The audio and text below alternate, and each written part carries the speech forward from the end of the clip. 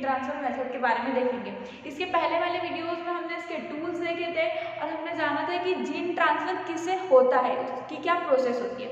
तो आज उसकी फ़र्स्ट इनडायरेक्ट की first agrobacterium mediated gene transfer method को देखते हैं। तो चलिए शुरू करते हैं अपना topic agrobacterium mediated gene transfer ये सबसे पहले दिया था हर्बर्ट बोयर ठीक है, अब हम पहले देख लेते हैं एग्रोबैक्टीरियम बैक्टीरिया के बारे में। उसका थोड़ा सा इंट्रोडक्शन जो एग्रोबैक्टीरियम जीनस का जो बैक्टीरिया होता है, सबसे पहले ये सॉइल पेथोजन होता है और ये ग्राम नेगेटिव बैक्टीरिया होता है. इसमें जो एग्रोबैक्टीरियम ट्यूबिफिशियंस है, ये क्या करवाते हैं? क्राउन वॉल डिसीज कॉज करवाते हैं और एग्रोबैक्टीरियम राइजोजिनस है, वो क्या करवाते हैं? हेरिडो डिसीज कॉज करवाते हैं. इसके पास अपना ये टी आई होता है और इसके पास होता है आर आई प्लाज्मिड यही हमारे जे आर एफ़ का क्वेश्चन रहता है। पहली बार तो दोनों, कि एग्रोबैक्टीरियम राइजोजिनस कौन सी डिज़ीज़ कॉज करवाता है, उनके पास कौन सा प्लाज्मिड होता है, और वो पॉजिटिव होते हैं या नेगेटिव होते हैं।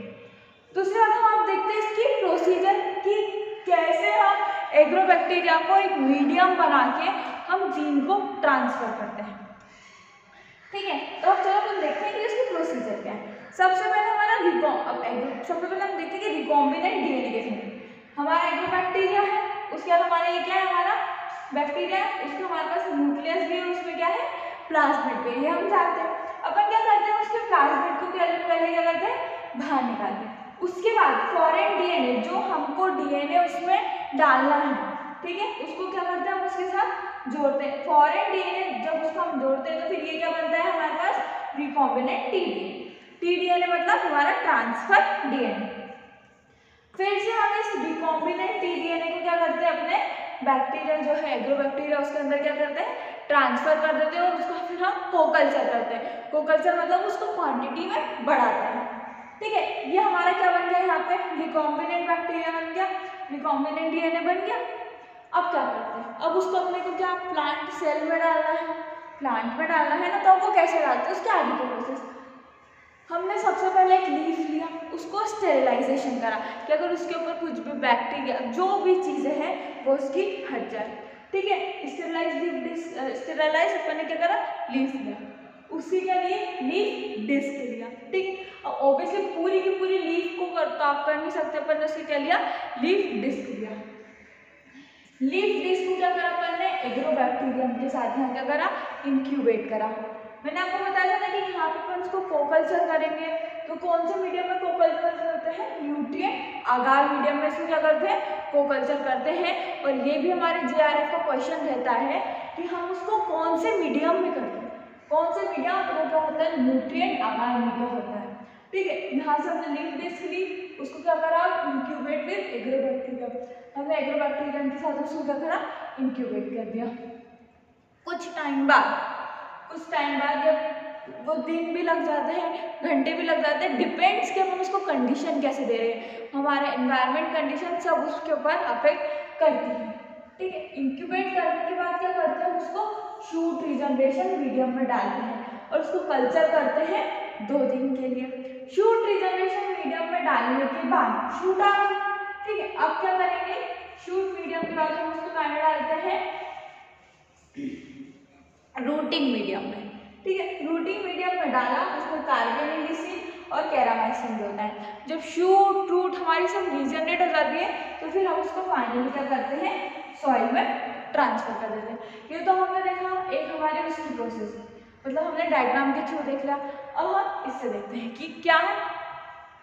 Actual procedure the appropriate gene constructor is inserted within T region of disarmed TI plasmid. अब मैंने आपको जो बताया था ये जो हमारा प्लाज्मिड है, ठीक है? उसका यहाँ जो टी यहाँ से लेकर यहाँ पे क्या होता है हमारा? क्या होता है यहाँ पे? टी रीजन होता है, ठीक है? टी रीजन में यहाँ पे हमारे कुछ चार जीन्स होते हैं I A N I A H I P T और ओ एस ये जीन्स को अपन क्या करते हैं? इनको हटा के क्या करते हैं अपन यहाँ? क्या करते हैं अपन अपना, कौन सा? अपना जो भी डीएनए रहता है, वो अपन यहाँ डालते हैं। और इसको अपन बोलते हैं, क्या बोलते हैं? Disarm T I plasmid ठीक है? ये हुआ। उसके बाद अपन क्या करते हैं? अपना रिकॉम्बिनेंट डीएनए बना और उसको अपन ने कहा, मैंने जैसे बताया था कि कोकल्चर करा अपन ने उसको प्लांट के साथ। स्मॉल लिफ डिस्क ली उसको स्टेरलाइज करा। ठीक है? अब क्या होता है? स्मॉल लिफ डिस्क ली उसको स्टेरलाइज करा। अब ये जो हमारा ट्रांसजीन बना ट्रांसजीन मतलब होता जो ट्रांसजीन हमारा बना, उसको क्या करते हैं अपन? वो क्या करता है? एक नियोजीन क्या करता है? कंस्ट्रक्ट करता है। हमारा ट्रांसजीन क्या करा? नियोजीन कंस्ट्रक्ट करता है। और वो कहाँ फंक्शनल रहता है? वो प्लांट सेल के साथ फंक्शनल रहेगा। अगर वो अलग है तो वो फ़ंक्शन नहीं करेगा। ट्रांसजीन कब फंक्शनल रहता है, वो बनाता क्या कौन है? वो कौन बनाता है? अपने जो ट्रांसजीन बना रहा है, वो नियोजिन बना रहा है बैक्टीरिया का नियोजिन बना रहा है और वो कब फंक्शनल रहता है अपना? प्लांट सेल के साथ वो फंक्शनल रहता है। ठीक है, अब हम नेक्स्ट चीज़ देखते हैं। क्या होता है? जैसे ही एग्रोबैक्टीरियम प्लांट सेल के पास जैसे ही वो कांटेक्ट में आता है, तब एक फिनोलिक कंपाउंड क्या होता है? रिलीज़ होता है। ठीक है, वो फिनोलिक कंपाउंड कौन सा होता है? एसिडोसिरिंजॉन और ये बात जो है, ये जो है मेनली क्या होता है? ये डाइकॉट प्लांट के सेल ही एसिडोसिरिंजॉन रिलीज़ करते हैं। आई रिपीट कि डाइकॉट प्लांट के जो सेल्स होते हैं, वही एसिडोसिरिंजॉन रिलीज़ करते हैं। और ये हमारे जे का क्वेश्चन रहता है कि कौन से प्लांट हमारा एसिडोसिलिंजॉन रिलीज़ करते हैं? तो डाइकॉट प्लांट के सेल्स एसिडोसिलिंजॉन रिलीज़ करते हैं। अब जैसे ही उन्होंने रिलीज़ करा तो जो हमारा जीन होता है ठीक है? जीन क्या होता है इंड्यूस हो जाता है। इंड्यूस होने के बाद क्या करता है वो?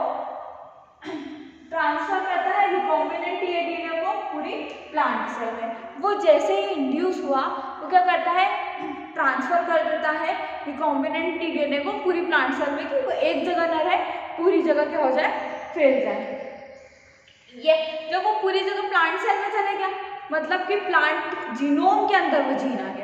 ठीक है? जब प्लांट जीनोम के अंदर वो जीन आ जाता है, फिर हम क्या करते हैं? उसको क्या करते हैं? ट्रांसफॉर्म जो हमारा प्लांट सेल है, उसको काय में डाल देते हैं हम। रिजनरेटिंग मीडियम मैंने आपको बताया था, उसको हम काय में डालेंगे केरामाइसिन और कार्बनी मैंने क्या बताया था? ये नियोजीन क्या होगा? बनेगा। और वो किसके साथ फ़ंक्शन रहता है? प्लांट सेल के साथ। अब यहाँ सब हो गया प्लांट सेल के अंदर भी चले गया। अब यहाँ पे नियोजिन का काम आएगा। अब क्या काम आएगा? देखिए।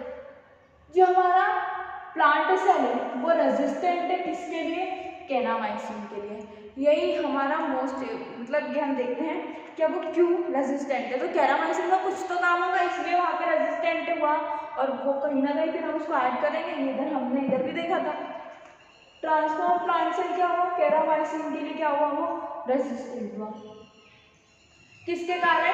नियो जीन के कारण। ठीक है जब हमने उसको तो अब क्या, अब क्या काम है अभी देखो कैरामाइसिन क्या करवाता है? ट्रांसफॉर्म प्लांट सेल को डिवाइड करवाता है और रीजनरेट फ्रूट्स को रीजनरेट करवाता है। और कार्बेनिसिलिन का काम है कि एग्रोबैक्टीरियम सेल्स को क्या करते हैं वो किल कर देता है। ये हुआ, उसके बाद क्या करा? शूट सेपरेट हुई रूट हुई और फिर फाइनली हम उसको क्या करते हैं? सॉइल में हम उसको ट्रांसफ़र कर देते हैं। जैसे मैंने आपको यहाँ बताया था रिकॉम्बिनेंट टी बना, उसके बाद हमने उसको स्टेलाइज लीफ लिया, उसको लीफ डिस्क लिया लीफ डिस्क लेने के बाद क्या करा, हमने जो हमारा रिकॉम्बिनेंट जो बैक्टीरिया जो बना था, उसको अपन ने क्या करा है लीफ जो डिस्क था इंक्यूबेट करवाया एक ही बैक्टीरिया के साथ इंक्यूबेट करवाने के बाद क्या हुआ?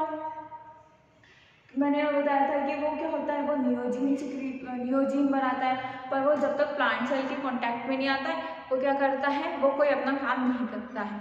पर जैसे ही एग्रोबैक्टीरियम और क्या एग्रोबैक्टीरियम और जो प्लांट सेल कॉन्टेक्ट में आया, एक फिनोलिक कंपाउंड रिलीज़ हुआ। कौन सा? एसिडोक्सिरिंजोन कौन करता है? डाइकॉट प्लांट सेल करता है। ठीक है, जैसे ही उसने रिलीज़ करा वीर जीन इंड्यूस हो गया कि नहीं, अब जो है जो टी डीएनए मेरे पास आया है, इसको मुझे पूरे प्लांट सेल में क्या करना है? ट्रांसफ़र करना है। जैसे ही उसने ये ट्रांसफ़र किया ट्रांसफ़र करने के बाद क्या हुआ हमारा वो पूरे प्लांट सेल में फैल गया, उसके जीनोम के अंदर आ गया। अब यहाँ पे अपना काम आएगा नियोजीन का इसका काम था ये रेजिस्टेंट होता है कैरामाइसिन से। ठीक है, और कैरामाइसिन का काम क्या होता है? सेल को डिवाइड करना और रीजनरेशन को रीजनरेट करना। और कार्बोनिसिलिन का काम होता है एग्रोबैक्टीरियम सेल्स को किल करना। शूट्स आएगी, उसके बाद रूट्स आएगी और फाइनली हम उसको सॉइल में क्या करते हैं? ट्रांसफ़र कर देते हैं। तो अभी हमने इनडायरेक्ट मेथड की एग्रोबैक्टीरियम मीडिएटेड ट्रांसफ़र में फ़र्स्ट देखी in planta coculture with tissue expand अब नेक्स्ट है in planta transformation in planta transformation की जो प्रोसेस है, वो सेम प्रोसेस होती है कोकल्चर विद टिश्यू एक्सप्लांट जैसा बट यहाँ पे बस डिफरेंस ये होता है कि यहाँ पर हमने लीफ लिया और वहाँ पे हम क्या लेते हैं अरेबिडोप्सिस सीड ठीक है, इसलिए उसको बोला गया है in planta transformation there is no difference in its procedure वहाँ पे अपन सिर्फ़ अरेबिडोप्सिस के सीड लेते हैं और यहाँ पे हमने क्या लिया है? अपनी स्टेरलाइज लीफ ली लिफ डिस्क ली। ठीक है तो अभी हमने क्या देखा? अभी हमने, हमारी इनडायरेक्ट मेथड को हमने देखा Agrobacterium mediated gene transfer method अब हम नेक्स्ट वीडियो में देखेंगे डायरेक्ट मेथड कि किस तरह जीन जो है डायरेक्टली ट्रांसफ़र हो जाता है। ठीक है, अगर आपको ये वीडियो पसंद आया हो तो प्लीज़ इसे लाइक कीजिए शेयर कीजिए एंड सब्सक्राइब कीजिए। Thank you